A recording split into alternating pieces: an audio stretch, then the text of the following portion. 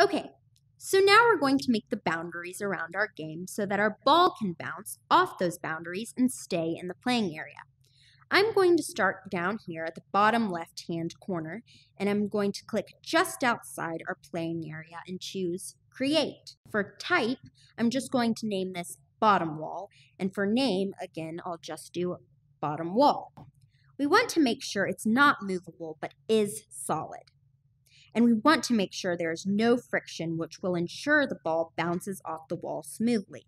So instead of the default, of 50 for friction, I'm going to click the slider and drag my mouse down. I'm trying to get that to zero. You can leave this shape rectangle. It really doesn't matter what it looks like, but to keep it clean, I'm going to change my bottom wall to all black.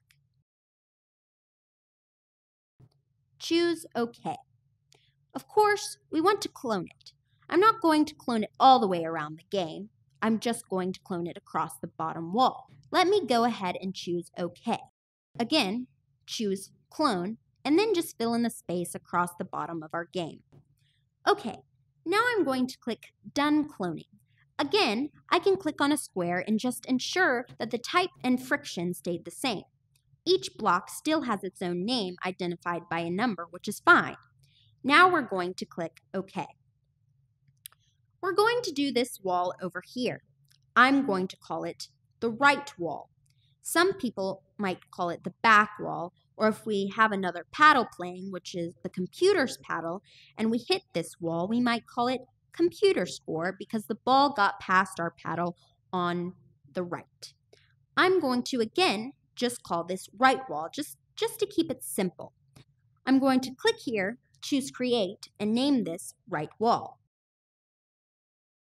Again, it doesn't really matter if I give the name right wall right here. So we don't want it to be movable and we do want it to be solid.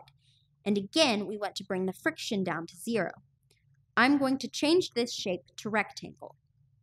And again, I'm going to do a solid black box to represent our right wall. You can do something totally different if you'd like. It doesn't matter. And I'm going to clone across the right side. Continuing to move forward, we're going to do the top wall. So instead of continuing to click, I need to come down here and choose Done Cloning. Do not forget to click Done Cloning, otherwise when we set our logic or code later, if the top wall had the same properties as the right wall, then what would happen is every time the ball hit the top wall, it would count for a score when it really shouldn't count.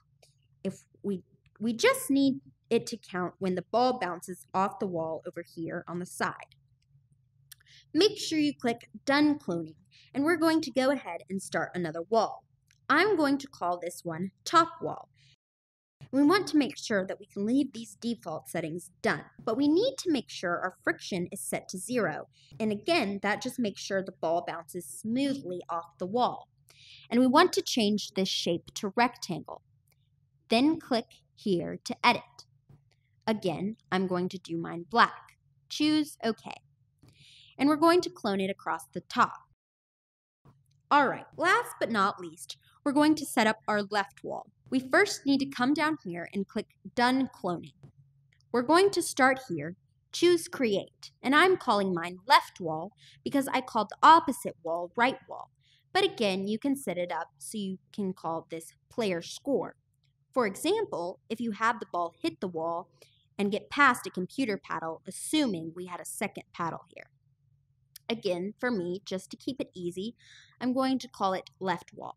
I'm going to bring the friction to zero, change the shape to rectangle, and click to edit this sprite. Choose OK, choose OK again, and then clone this down the left-hand side of our game. Okay, so now we've created the boundaries for our game. In the next video, we're going to go ahead and code the paddle. See you in the next video.